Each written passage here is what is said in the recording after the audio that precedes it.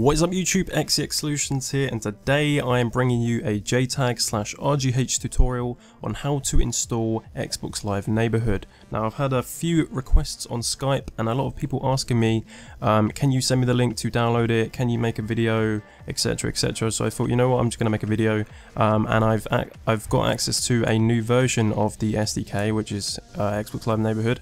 So I'm going to install that and make a video for you guys. So if you already have Neighborhood you can simply uninstall uh, the previous version by going to Program and Features, depending on which Windows operating system you're using, and just right click and uninstall it. Um, that's what I had to do because obviously I was on a previous version. But if you are fresh and you've just purchased your JTAG and you have, um, you know, you don't have Neighborhood and you're looking to install it, I'm going to show you how to do so. So in the links, uh, the link descriptions below, excuse me, um, you will see Xbox 360 SDK 21256.3. That is, from what I know, the latest version of the SDK. It is 1.42 gigs, and you will see another download link for XBDM uh, XeX plugin, which allows it to connect. So you're going to need to download the SDK and the plugin. Again, the links are in the description below. So once you have downloaded them, you're going to want to install Neighborhood, so double click on it, hit yes, and you'll be prompted with a installation wizard. We're going to hit next.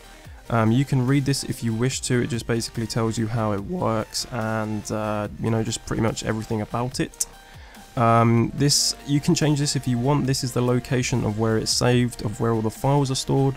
I like to leave it um, in its default location which is in program files. Um, if you wish to change it you can browse and choose a different directory. Hit next.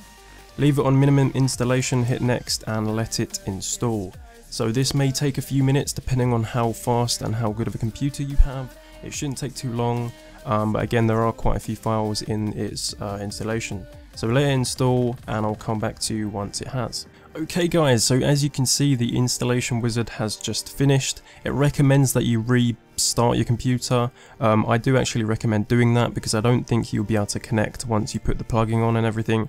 So if you want to go ahead and do that, um, and come back to the rest of the video, uh, be sure to do that. If you don't, then uh, you can try rebooting later and uh, yeah, hopefully it will connect for you guys.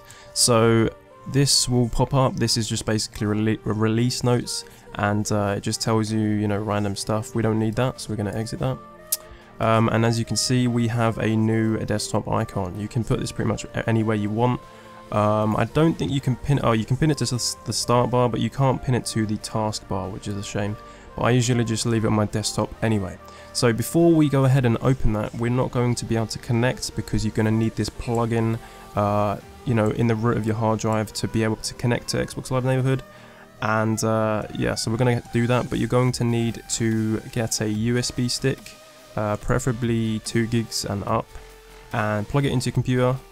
Uh, make sure that there's nothing on there before you format it, because if there is, then you're going to lose it obviously. So just format it, do a quick format, so we know that we're, you know, fresh with putting the plugin on. So it's formatted and we're going to go over to the USB stick and simply drag and drop the plugin in there. It's only 52 kilobytes so it's literally nothing. Um, and once we've done that we're going to eject it and uh, you want to plug it into your JTAG or RGH and head over to the Xbox. Okay guys, once you are at your JTAG or RGH you're going to want to go into XeX menu, hopefully you should have that by now. Launch XeX menu, wait for it to load obviously, and uh, we're going to be launching Freestyle Dash, um, just so you can copy the plugin over to your hard drive. So press LB, LB again, go over to Freestyle Dash, for me it's in Homebrew folder, and simply launch Freestyle Dash. Okay guys, so once you are in Freestyle Dash, you're going to want to find the file manager. Now your skin might look a little bit different to mine because, you know, I've customized it. Uh, go over to the right section, go to USB 0, and you can see the plugin there. So then you're going to go onto the left panel, go to HDD1, and this is where, this is basically the root of your hard drive. So we're going to go over to the XBDM plugin, uh, hold LB and press X, which will move it over to the hard drive. Press OK, and if you go ahead and look in the root of your hard drive, you'll see the xbdm.xex plugin. Now, that's basically on there forever unless you delete it. So now what we're going to do is go back into File Manager, go to HDD1, go to your Dash Launch folder, which is in Homebrew for me, and launch Dash Launch. Okay, once you're in Dash Launch, you're going to want to go into the Plugins tab, and you shouldn't see, uh, you know, you should see available space which isn't used. Hopefully, if you are using too many plugins, then you're going to need to delete one because you're not going to be able to uh, use Neighborhood without this plugin. So you're going to press A, you're going to go onto your hard drive, which is HDD, and find the xbdm.xex plugin, which again is 52 kilobytes. Press A on it, and we're not done yet because we're going to need to save this so we're going to press RB go over to the HDD which has got a little green you know pencil there press X to save the settings and press A to load the settings. Once you've done that press B and this will exit out of dash launch and bring you back to the dashboard. Now once you've done this you're going to need to reboot your console.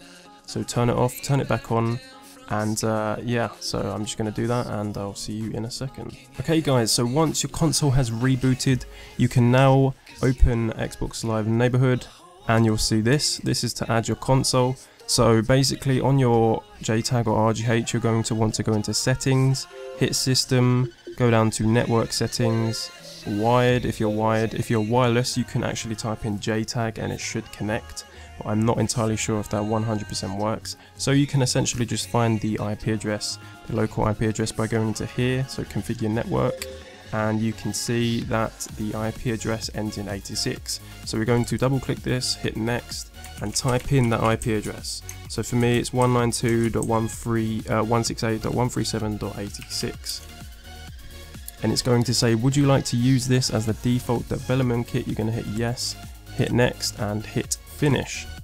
I'm going to hit refresh here and you can see that we now have our JTAG connected to neighborhood and we can go in here and do different things, access the USB if you want to um, and the hard drive.